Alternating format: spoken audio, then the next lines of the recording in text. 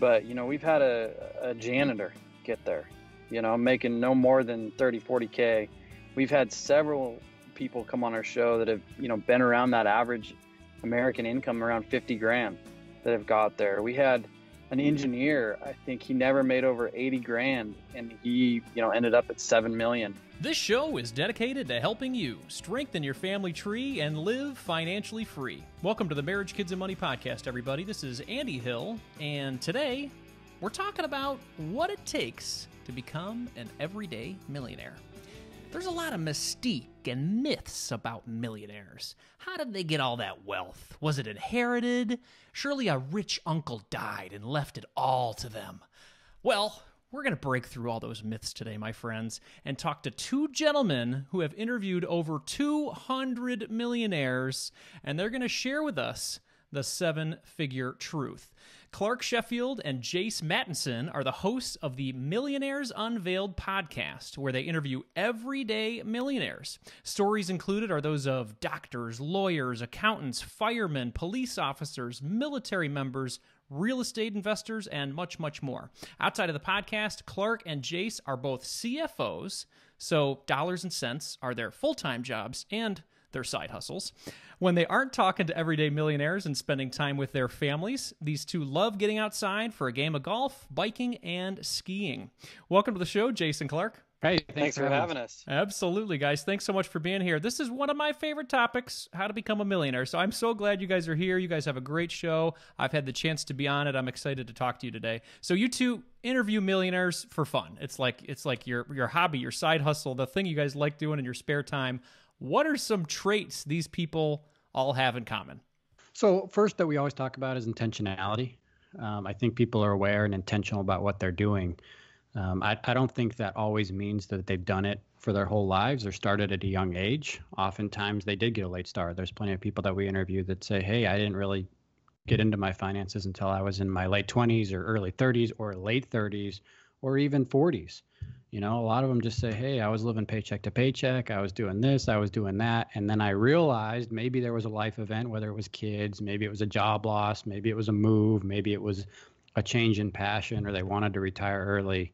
And then they became intentional. So everybody that we interview now is aware and intentional. They're aware of what they spend, they're aware of where they stand, they aware they're aware of what their investments are in and they're knowledgeable. I mean, it doesn't mean that they're always doing it themselves. A few have hired financial planners, but they're just very intentional with their behavior and their decisions, and they don't just live a lackluster life in all aspects of their life, not necessarily just financially. Yeah, I think that's a really good point. The it almost it almost requires a moment in time where somebody flips from unintentional to intentional. Did, did a lot of those happen? A lot of the stories, there was a moment I wasn't paying attention and now I am. Yeah, and some of them, I mean, that's one thing we ask is, hey, h- how did your upbringing affect where you're at today? Meaning, are these principles that you learned when you were younger? Is this something your parents taught you? A lot of times it's yes, but a lot of the time I would say, Jason, and correct me if I'm wrong, maybe it's 50 50, where they grew up in homes where their parents were terrible with money, and they say that. And it's a, it's a conversation with a coworker, it's they read something online, it's a life event I'm trying to think if there's like a, a few life events that stand out. Um, everything from being homeless to like I don't want to do this anymore, right? Like I don't want to live this life to you know kids and and Dave Ramsey talks a lot about that like your I've had it moment with debt, right? Like I don't want to live in debt anymore. And I think there's some of that to investing in once the snowball gets rolling, you start saying I don't want to live like this anymore where I don't where I can't invest, where I don't have money. So I'd say it's mix. Yeah, Jay, Jay, how about habits for these folks? Obviously, intentionality is important for getting a hold of your money. Were there any consistent habits that a lot of these folks had? In terms of habits, yes. Yeah, so it's interesting. It's interesting you ask about habits. You know, I think there's been a few books written on it, and right, there's not something that you know, millionaire just wakes up and, and, and becomes a millionaire. They definitely have strategies and habits that they form, but I wouldn't say that it's more as uniform as you would think. You know, there's not a Eh, you know millionaire that's hey i'm always up at 6 a.m and the millionaire that's you know work until you know that prefers working at night is hey i go to bed late i mean we had stuff all over the board you know it's not like every single millionaire is clipping coupons I wouldn't say that even every single millionaire is, you know, extremely frugal with their car purchases. Um, you know, we've had several that have bought nice new vehicles. We've had several that have bought, even young millionaires that have bought luxurious vehicles. So the habits, I think, more have morphed, at least for our millionaires, more to their individual personalities and what works for them. I love it. Well, so I'm not doomed, I guess, if I don't get up at uh, 5 a.m. to uh, become a millionaire, huh? No. Yeah, exactly. and, and, it's budgets too. I think Jace touched on this, but lot, most of the million. So this has probably been something that's been the most surprising to us. Is we'd say what Jace 85, 90 percent of our millionaires don't live on a strict budget. So they're very aware yeah. of what they're. I mean, they, but often even when I ask, hey, how much do you spend annually? Like the first response on most of that is, oh, geez, I don't know. You know, I mean, some of them are like, oh, oh, fifty thousand dollars but a lot of them, I mean, I think Dave Ramsey, I think pushes that like budget, budget, budget, and I think that's great to get out of debt. But most of the millionaires we've interviewed, whether it's net worth from one to a hundred million, they're not budgeting. That's incredible. Yeah, I think that's a really good insight for a lot of people. You know, maybe it's the habits that get stuck after you know you figure out how to build wealth how to create you know uh, abundance for yourself and then over time it's like this is just how i live so maybe the act of budgeting isn't as necessary. What do you think? Yeah, I think it definitely is an evolution. I mean, I wouldn't say that, you know, 80, 90% of our millions didn't have a budget at one time in their life, but some of that is evolved, developed the habits, and then decided, hey, I'm just going to put that away and, and, and move on because I've got the habits established where I can track my spending in my head, or maybe I'll review it, or I don't want to, you know, like I said earlier, you don't want to go over a category by $25 and have a freak out or have a big discussion with your wife one way or another. Absolutely, absolutely. Well, let's talk about some of these myths, you know, that you hear out there. You guys have talked to over 200 of these folks now. Does a lot of their money come from family or inheritances? So I think we've had two inheritances um, that that made somebody a millionaire.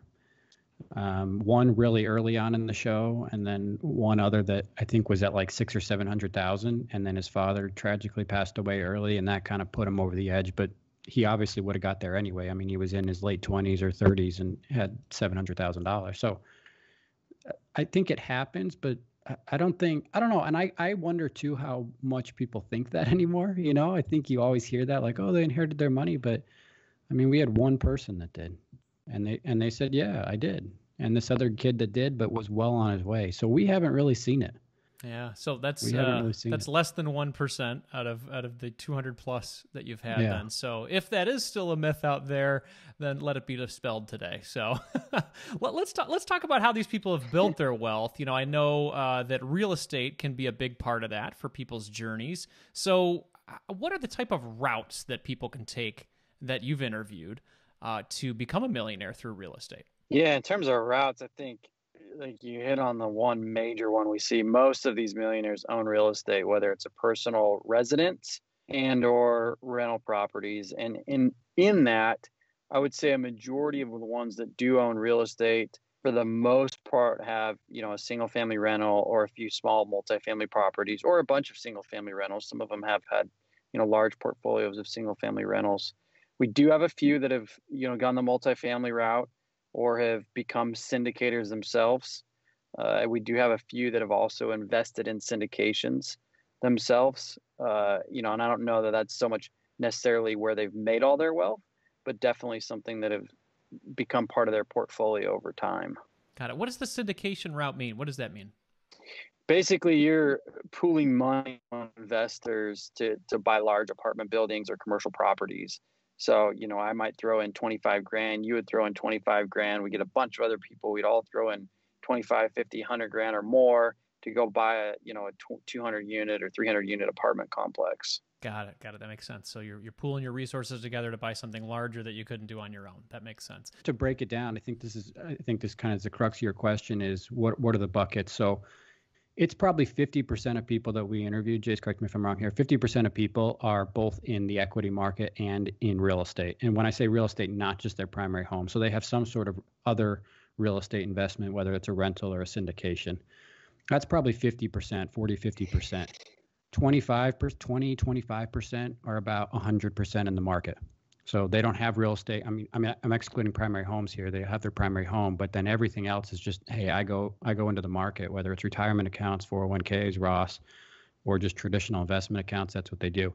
Another 25% would be all real estate.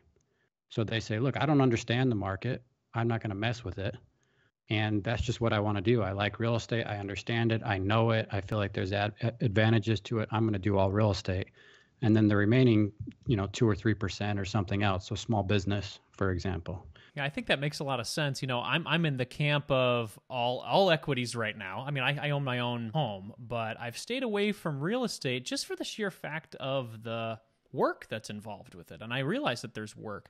Uh, for the people that you know have shied away from real estate that you've talked to is that part of the reason they've they shied away from it are there other disadvantages that we're not seeing when it comes to real estate yeah i think you hit on it. I think it's twofold. I think one we hear occasionally look i tried real estate. I had a rental and i realized it was work and i don't want to deal with it anymore. You know i don't want to do it. It's not as passive as people make it sound. Even if i hired a property manager they were calling me when something happens. And a lot of that could just stem from a bad experience. I mean, that could be the fact wherever you buy too, but that could just be a bad experience. And then some people say, look, I don't understand it. I don't, you know, I don't understand. While while the real estate investors say I don't understand the stock market, the stock market investors say I don't understand real estate, right? So I think it kind of goes it goes two ways. So those are the two reasons we hear. Yeah, that makes a lot of sense. That makes a lot of sense. Okay, so for the people that are investing or uh, have a lot of their net worth, I guess, in the stock market, is a lot of it sort of your traditional 401k IRA kind of stuff, or is a lot of this non retirement? Yeah, I'd say a lion's share, probably upwards of 80% of them that are invested in the market. 90 plus percent of what is in the market is in tax protected accounts. We have had a you know guests time to time that have put together you know a taxable portfolio, you know, outside of tax protected accounts and part of that is either they filled up those buckets already or they're putting it there for you know some sort of long-term purchase whether it's a home or a business or real estate down the road or just another place for them to, to kind of park some money and they've been stock market investors and uh, as we know there's limitations on you know putting that in tax protected accounts so they'll put it in, in taxable Got it, got it. Yeah. So so you know there's there's a lot of folks out there that want to get into investing, right? Quote unquote investing. It's often thought of as not investing if you're putting it in your workplace 401k or your IRA. Have you guys heard this sentiment? I haven't really heard that. I mean, I guess I can understand that. You feel like you're not really doing anything yourself. Is that the thinking? Well, I guess it's I guess it's more of the thought that if I'm going to be investing, I'm looking for something that's got some aggressive growth, and putting it away for my retirement for 40 years is snoozy and boring. But to, to, to the point here with these interviews you guys have done, 90% of the folks are doing the snoozy and boring. Yeah, and I think there's an order of operations. I mean, Jason and I always talk about that. Like, I mean, and you probably you talk about it too. I'm sure is take advantage of the free money, right? And and I I get it. I mean, it's boring. It's boring, right? You stick it in an S&P total market index fund or whatever, and and then you just watch it and maybe it goes up 10% maybe it doesn't you know you have years like the last few or maybe they cancel each other out but i think there's an order of operations in in what you do but i get that i mean there's people that we've had that jumped into real we've had two or three people that jumped into the real estate in 2008 and 2009 and went bankrupt and lost everything and i think that i think sometimes that sentiment gets people into trouble of hey i just want to jump in here because it's sexy and it's growing and it's you know i want the aggressive growth but I think a good, I would say most all of these millionaires have a good baseline in their retirement accounts.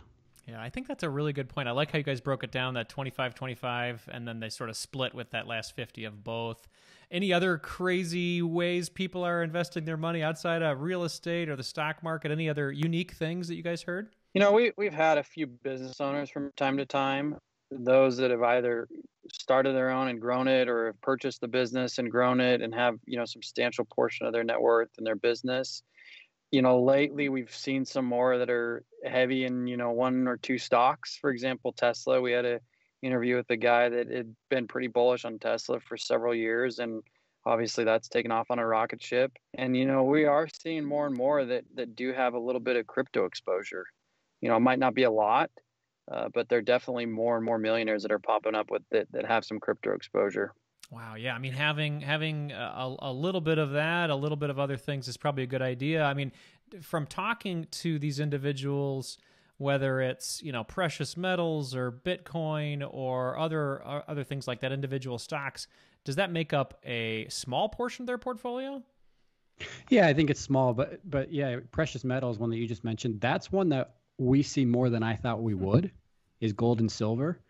And then the other interesting one, we haven't launched this episode, but we just interviewed a week or two ago, is somebody had this guy had fifty or sixty thousand dollars in in baseball cards or sports cards. So every now and and I guess just full circle, it's interesting too to see what people include in their net worth.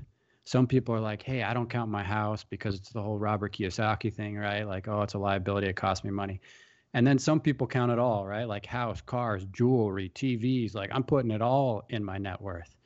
And so, yeah, to your point, I, I, think it's interesting. You see the crypto, you see the gold and silver, you see the baseball cards, you see the Rolex watch, you see the Teslas. But yeah, nobody that we've we haven't interviewed yet somebody that's had Tesla or baseball cards or or not Tesla, but crypto or something some alternative asset, right, as a large, large majority of their net worth. It's always below five percent. That's a good point. And then, and Jace, uh, I know you guys get very detailed with the net worth as you guys are interviewing your guests because I had the opportunity to be on your show. How do people value their businesses? Is that something you see on those uh, net worth charts? Yeah, that's a good question. And and the ones that have done it, you know, they they're obviously experts in their field and their space, and so it's a lot easier. Some of them get an annual review of you know a third party comes in valuation firm part of it is for their net worth statement part of it's probably for their banks line of credit et cetera and then uh, some are just hey look i think i could probably sell it for two times earnings or three times earnings which you know in my opinion is probably pretty fair you know you may be depending on what revenue is some of these businesses may only sell for their assets but the ones we've had on our show are probably likely you know with their brand recognition customer base they're probably selling for two to three x that's cool. That's cool. That's good to know. I mean, especially for the small business owners who are listening to this show and they are looking to, you know, potentially build their business to be something to sell in the future. Know that know that it has value. Absolutely. So, okay, let, let's talk about you guys a little bit, if you don't mind. So, you guys have interviewed a lot of people. You've learned a lot probably over the past few years as you, as you guys have done these interviews. Have you modified any of your financial plans based on these interviews? So I'll make a plug for Jace episode. Jace, what episode were you? Look that up while I'm talking. But Jace was interviewed on the show. So if you want to hear specifically ah. about him, you can go. And then Andy, you mentioned yours. So Andy's episode was 170 on our show. If if you want to listen to that, um, I think yes and no. I've been I've been surprised at how many people are not involved in small business. I thought we would see more of that. And candidly, maybe there is, and we just haven't had people on the show. I mean, now we're getting up close to like 250 interviews, so our sample size is getting a little bit bigger, but we're always trying to find people, you know, that's representative of, of everybody. But I think the I I've I've been surprised. I'll get back to your question here at how many people don't invest in their HSA, and so I've been more aware in my plan. I mean, it's something I started before we started the show, but I've just been more aware of that element of it because you just hear all these things and very rarely do we have somebody with over a $10,000 HSA balance. And I, it's been surprising how many people don't invest in their Roths accounts either, in the 401k or, or an IRA and a Roth. So I think I've become just more aware. And I don't know that there's necessarily one right or wrong answer. I mean, everybody's done it so differently. But I think you continually hear these and you're like, man, why?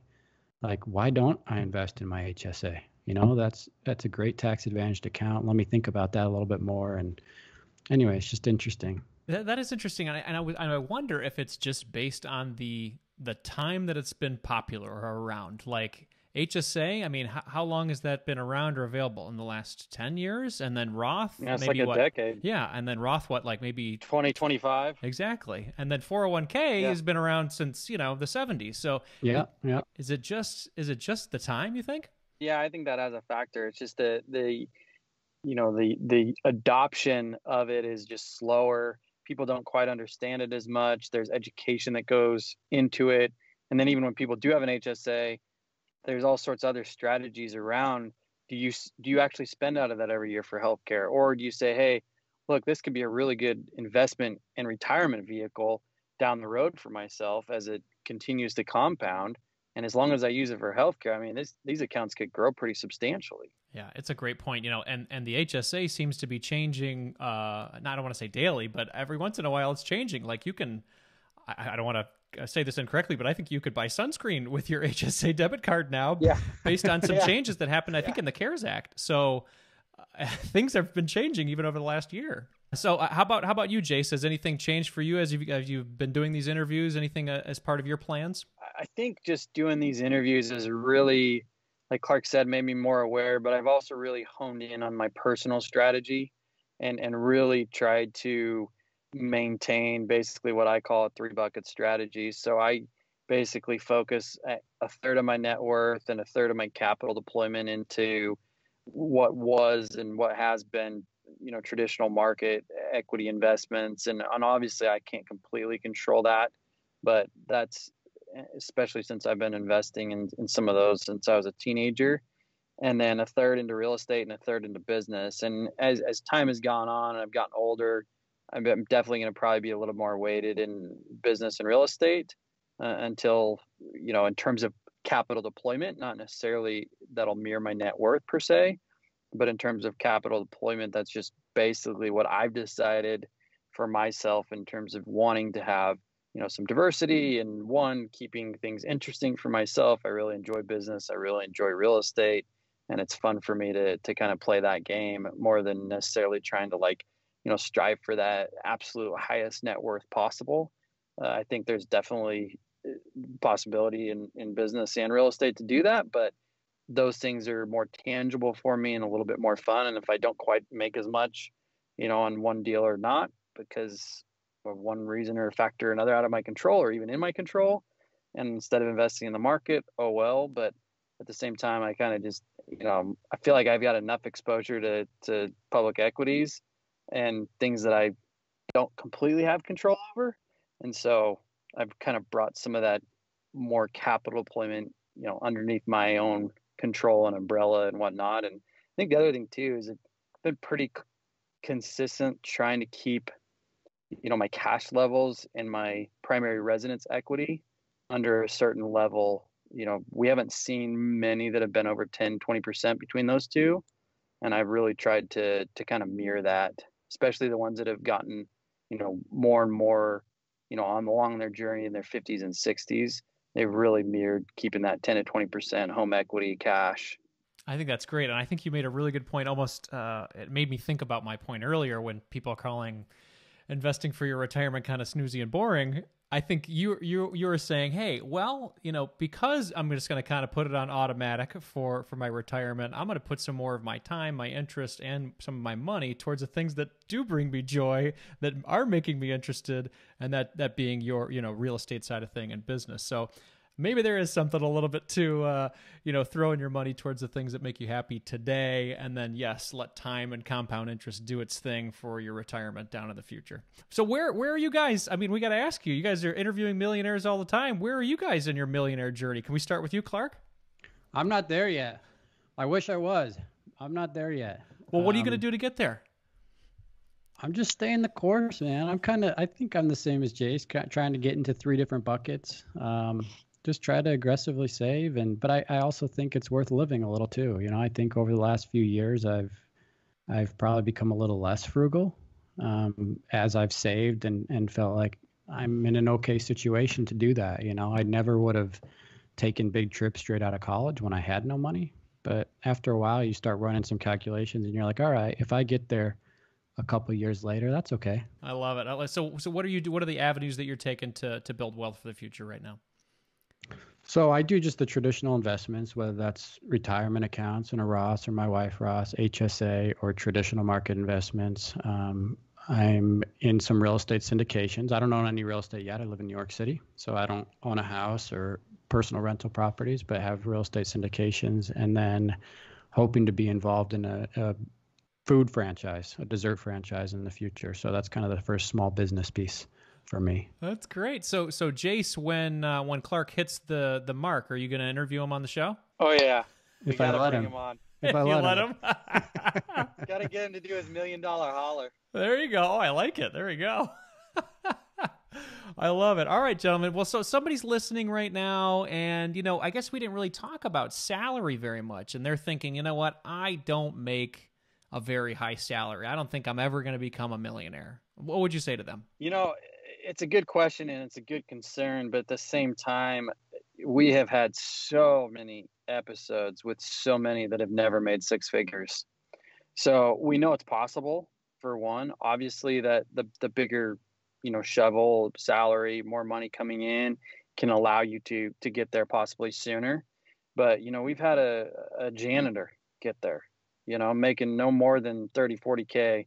We've had several people come on our show that have you know been around that average American income around 50 grand that have got there. We had an engineer, I think he never made over 80 grand and he, you know, ended up at 7 million. Obviously it was late in his 60s. Uh, but you know, that's just the power of compounded interest and sticking with a plan and investing for 40 years. You know, Warren Buffett's famous for making, you know, like 99% of his wealth after his 50th birthday and it's probably going now to his 60th 60th birthday, right? So to those people that, that don't feel like they're going to make enough to ever get there, stick the course. You'll get there. It just might take a little bit longer than somebody who is making more, or even if you were to make, you know, double what you're making, and then concentrate on trying to, you know, grow that income. You know, we had a lot of millionaires come on that talk about, hey, I never thought I was going to make what I, I'm making, but they're really focused on growing that income, providing value to, to the marketplace and they were paid for it. I love it. Well, that's a good message. So, Clark, you know, somebody's listening right now and they're like, hey, I am jacked up. I want to make this happen. I want to hit seven figures. What is the first step that they should take following this interview? Well, I think first is just make sure you're allocating correctly. So take advantage of your free money. Um, to me, after that, I think it goes to the HSA, which I think everybody's going to use at some point in their life. And then probably a, a Roth IRA. I mean, I'm bullish on the Roth. I think some people question that, knowing where taxes are going to be in the future. But I, I just like having money invested that I don't have to pay taxes on and worry about in the future. And so I think getting that that baseline is is where you want to start. Um, we had one millionaire that came on and, and he said, when I was 30 years old, I was impressed by people that were making $100,000. When I was 40 years old, I was impressed by people that were a millionaire right? And he's like, now in my 50s, I'm impressed by people that have passive income and are living off their cash flow. So I think, you know, Jace talks about a lot on the show is that we're all, in a sense, trying to chase passive income, whether it's from our real estate investments. I mean, even if you invest 100% in the market, at some point you're going to pull out of the market to live on that money. That's where you often hear the 4% rule, your withdrawal rate. Um, and so I think just being aware of that, right? What's creating cash flow for you? What do you want to get to in the future? If you want to live off 50 grand, okay, what do you need to do to create that $50,000 of passive income? Maybe it's $200,000 you want to live on, right? So take the steps to get to there. That's what I'm trying to focus on. And I think millionaires that we've interviewed, they realize that's what brings them happiness, flexibility and freedom and relationships. And that's what they're after now, nearly all of them and so I, I just that's made me aware of my behavior, my decisions. And I think if you're saying, hey, how do I start now? It's that. Realize what's important to you and, and back into how you're going to get there. I love this message, everybody. There's no one right way to become a millionaire. There are multiple ways to do it. And these gentlemen have talked to over 200 folks that have done it. So, where can people listen to this great podcast? Yeah, we're on all, you know, typical outlets, iTunes, Stitcher, uh, Spotify. Millionaires Unveiled is the name of the podcast. Millionairesunveiled.com is our website. We got some new features on our on our new website too. If you want to, you know, voice in a, a question, we'll ask live on the show to our millionaires and stuff coming up. So super exciting stuff. We're on all social channels. You can reach out to us, uh, email millionairesunveiled at gmail.com. And Clark and I actually read and respond to all of them. Excellent. Well, this is a great show, everybody. What I like about it is you know, in the spirit of this show, too, we want to try to be open and honest. So this is not a mystery for a lot of people. When you break it down in the way these guys do on their show, it becomes a little bit more obvious about how you can also follow a path to become a millionaire. So, gentlemen, thank you so much for your time today. I really appreciate it. Yeah, thanks, Andy.